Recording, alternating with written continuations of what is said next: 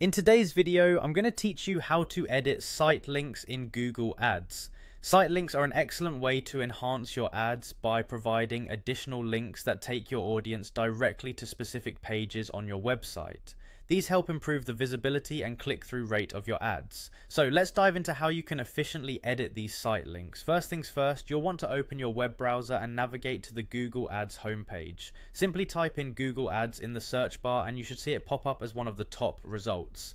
Click on the link to enter the Google Ads portal. Once you're there, look for the sign in button, which is usually located at the top right corner of the page. Click on it and use your credentials to log into your Google Ads account. After signing in, you'll land on the Google Ads homepage. From here, you'll want to direct your attention to the main navigation menu on the left side of the screen. This is where you'll find the option labeled Campaign.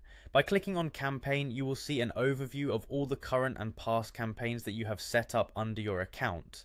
If you're managing multiple campaigns, you'll need to select one where you want to edit the site links. Once you have selected a campaign, the next step involves navigating to the Assets section. You will find Assets in the sub-menu under the Campaign section. When you click on Assets, a new page will load displaying various assets associated with your campaign.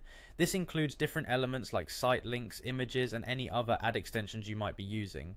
Now to focus specifically on site links, you need to click on the site link option. Clicking on this will open a detailed list of all the site links that are currently in use for your campaign. Here you have the flexibility to examine existing site links and decide which ones you want to modify. To edit a site link, you can click directly on the site link's text or the pencil icon that appears next to it. This will open up a form where you can change various details of the site link such as the link text, destination URL and description. Carefully review the changes to ensure they accurately represent where you want your audience to land when they click on that link from your ad. Once you're satisfied with the modifications, be sure to click Save to apply the changes. And just like that, you've successfully edited site links in your Google Ads campaign. Remember that updating your site links can significantly influence the performance of your ad campaigns by directing potential customers more accurately to the content they are interested in. Keep experimenting with different site link combinations to optimize your ads' reach and effectiveness.